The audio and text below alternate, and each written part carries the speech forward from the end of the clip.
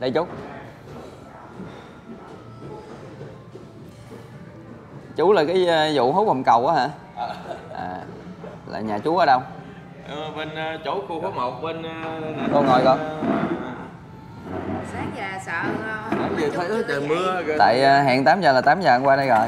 Tại vì nói sau 8 giờ tôi nói chắc uống cà phê rồi nọ rồi, rồi khu phố 1 phường này chú?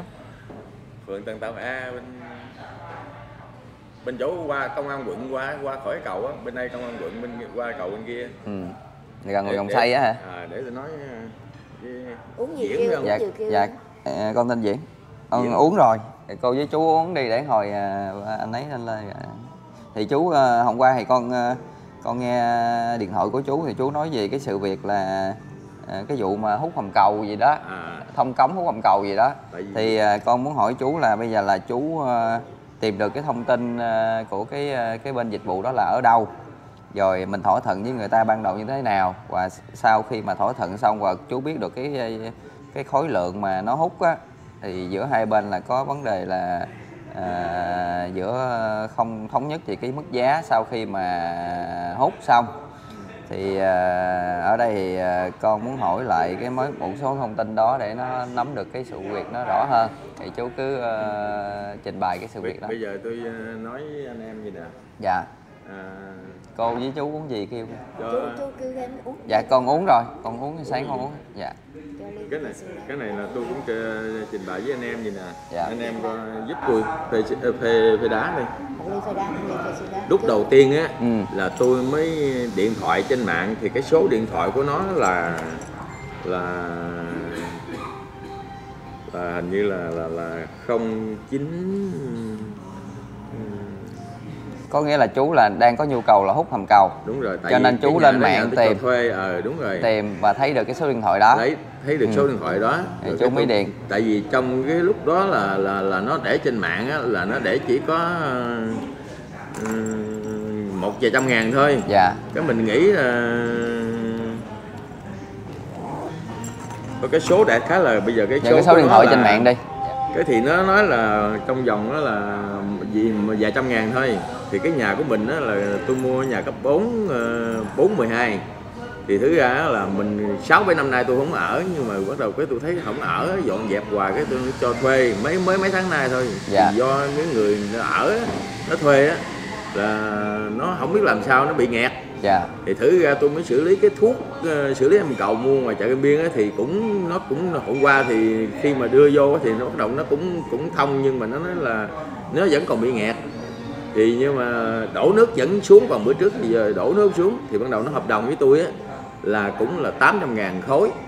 Ừ. múc bao nhiêu khối thì mình nghĩ là mình trả tiền 8, 8 ngàn thì tôi hỏi cái sớm nó gần gần đây người ta cũng 600 hay 800 thì mình nghĩ thôi 600 800 thì tôi nghĩ cái hầm cầu á thường thường là mình đào một mét hai mét rưỡi bề ngang là dữ lắm rồi. Ừ. nếu mà cùng lắm là cũng một mét hai bề ngang một hai mét rưỡi bề dài thôi. Thì mình nghĩ rồi đầu sâu xuống không bao giờ là đầu sâu được tại vì khoảng chừng một thước là nó đã đụng nước rồi là người ta không đào được rồi. Thì mình nghĩ là nó khoảng chừng hai ba khối thôi thì ví dụ như chừng hai ba triệu bạc thôi. Ừ. thì mình ờ, thuê nó hút. Tới hút vừa xong bắt đầu cái nó nó tính là 15 khối. Ừ. nhưng là xe bồn nó có ở đó luôn không xe bồn còn đó. À. Nó nói 15 khối. 15 khối nó tính 12 triệu. Tôi nói những bé làm gì mà tới 15 triệu ờ, 12 triệu tiền hút cầm cầu cái hầm nào mà dữ vậy? Ừ. cái tôi mới nói nó cái nó nói nó hăm dọ tôi đủ thứ hết. Nó đi mấy người chú? Nó đi năm sáu thằng nữa toàn là dân sân mình không à. Ừ. nó đi cái xe cái gút hầm cầu là xe bản số 29H ừ. 781 79 dạ. Tôi có chụp hình đây nè. Dạ.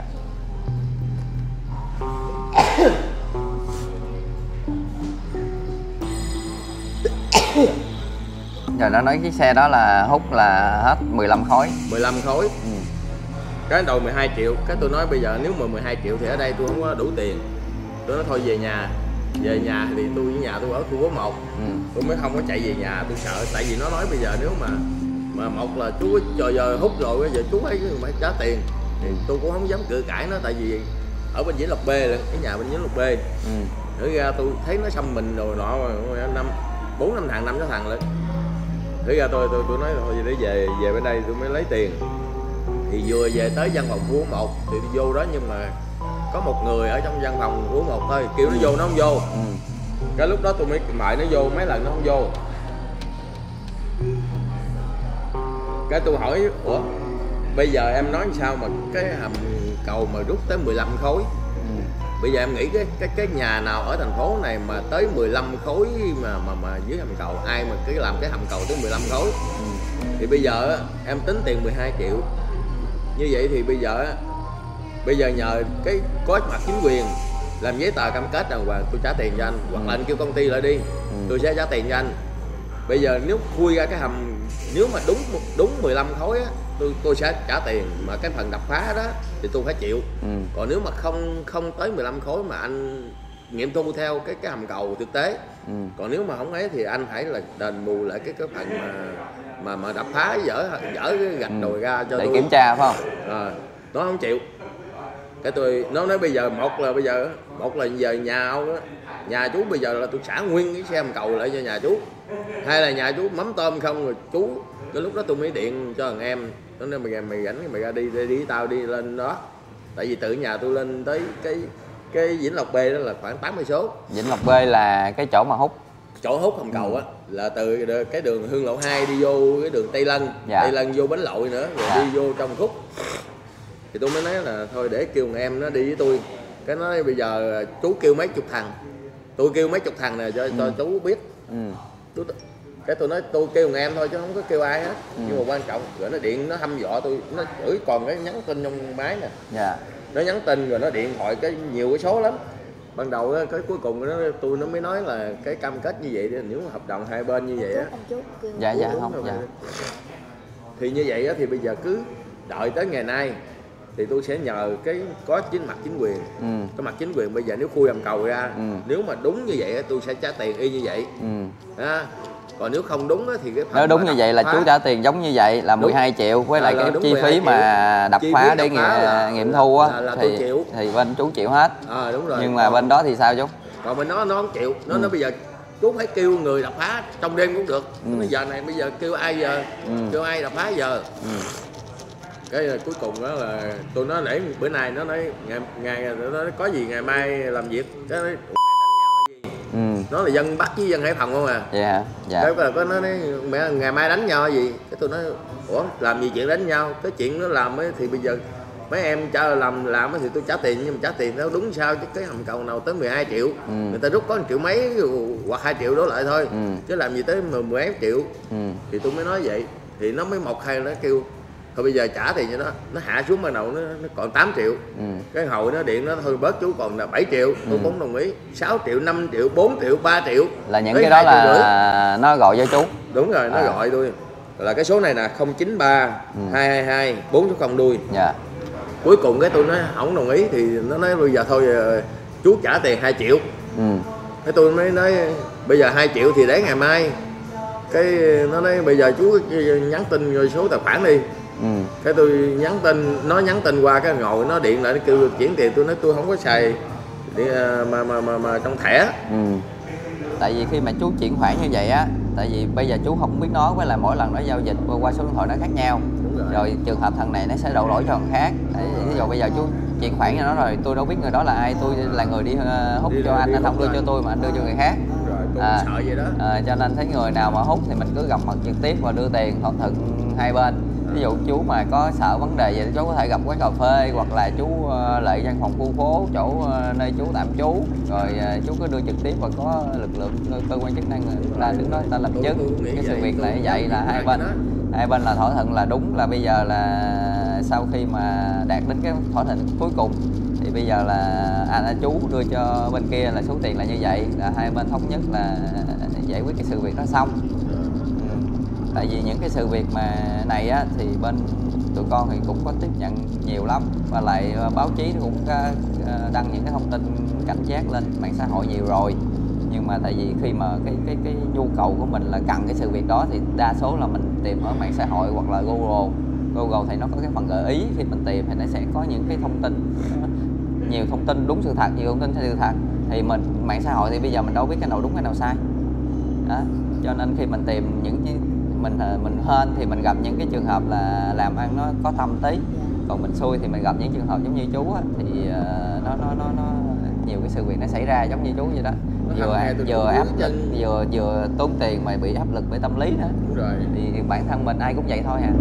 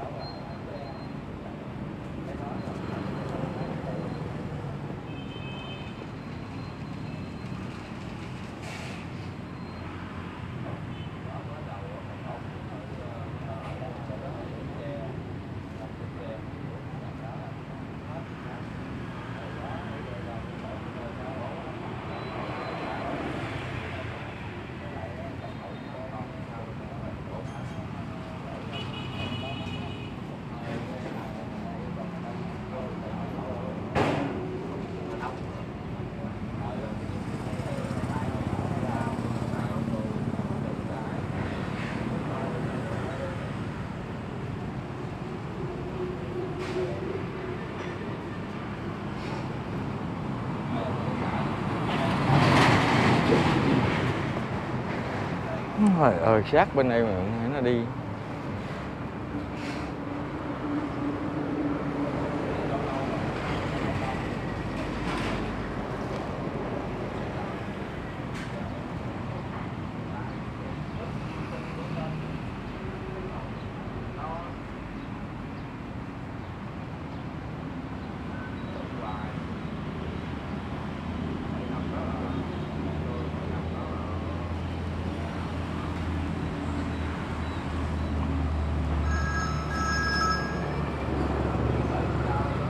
Alo? Bên Trần nay Nghĩa á, đừng có qua lên cầu nhưng mà nằm phía bên đây nè, rồi chui qua cái hầm cầu rồi. Đây đây đây đây đây.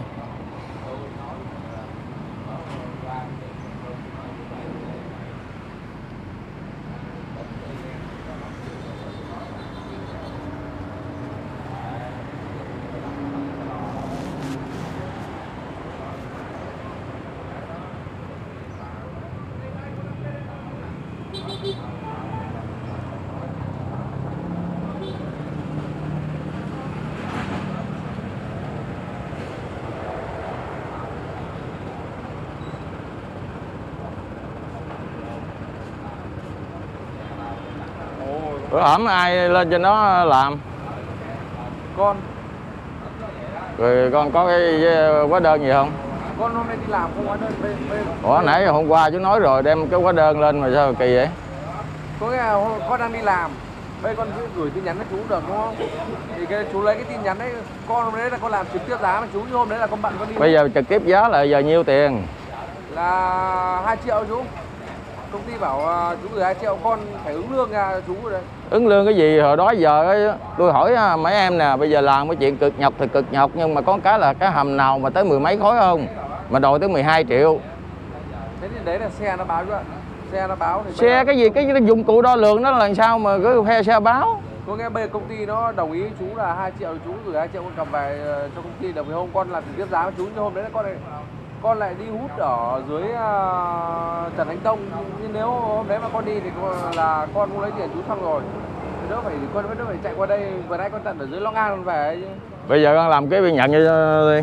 Con gửi tin nhắn qua chú nha con làm trực tiếp với chú. Thì bây giờ con lấy tiền chú thì con gửi tin nhắn cho chú là con đã nhận. Không cứ làm biên nhận ờ, tên gì rồi giấy tờ chứ, chứ tùy thân hay gì đó rồi mai mốt rồi ai mà biết đường đâu mà chú À. ơi, 2 triệu nó phải 2 thì bây giờ 2 triệu hay là bây giờ thường thường á là người ta làm một cái hầm ờ, đó, thường thường một khối mấy hai khối đổ lại thôi. Là có khoảng một triệu hơn một triệu đồng thôi. Nè con viết biên nhận đi. Viết biên nhận tôi họ tên gì đó? Ngày bao nhiêu nhỉ? Bữa nay ngày 4 tây. Ngày bao nhiêu? Ngày 4 tây. 24 ạ ngày 4 ngày 4 tháng 10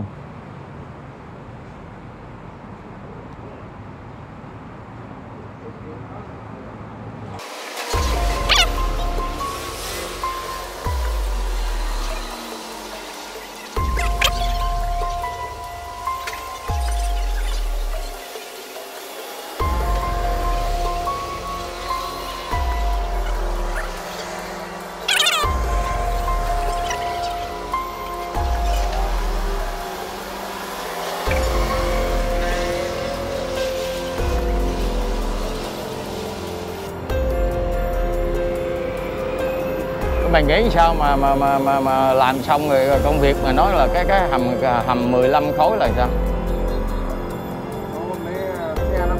Xe báo cái gì? Bây giờ nói chung là bây giờ nếu ở khác hết cho hơn cho thành phố Hồ Chí Minh này không cái hầm nào mà người ta làm tới 10 15 khối hết. một khối tới hai khối là dữ lắm thôi. Làm gì mà xe nào mà báo tới 15 khối?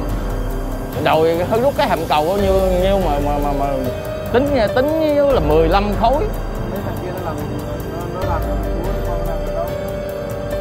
Chú con là hôm đấy ờ, con mệt không làm được chú là về xong con lại chú ra thảo ra ứng tiền cái gì?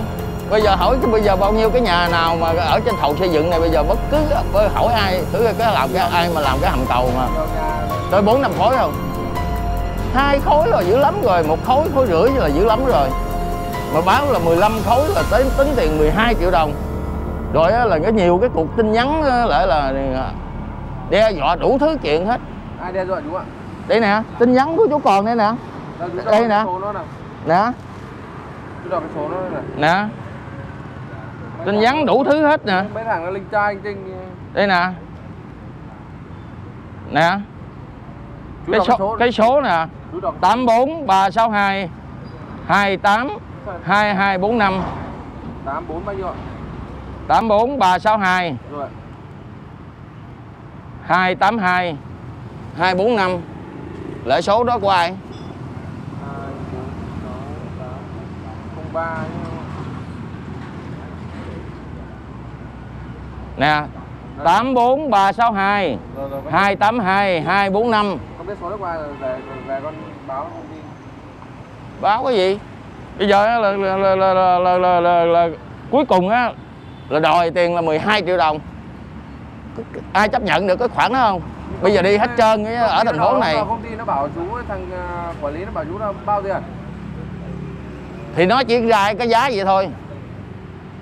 Ban đầu cái rồi 8 triệu rồi 7 triệu rồi 6 triệu rồi 5 triệu rồi 4 triệu rồi 3 triệu rồi 2 triệu rưỡi. con điện chú con bảo là gửi bên công ty là 4 triệu đúng không? Chú không đồng ý thì xong quản lý nó bảo ban đầu cứ 8 triệu rồi đã cái 7 triệu đã rồi đấy 6 là mấy triệu rồi chú. 5 triệu. Cái hầm cầu nào ở đây bao nhiêu cái hầm cầu ở đây người người ta rút được khoảng chừng một triệu đồng hơn triệu đồng thôi. Chú gửi con 2 triệu con về chú con, đi làm.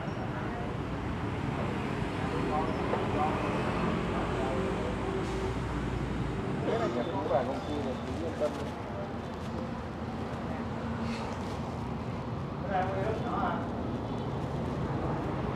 nè con đếm tiền nè Hoàng à, đếm lại đi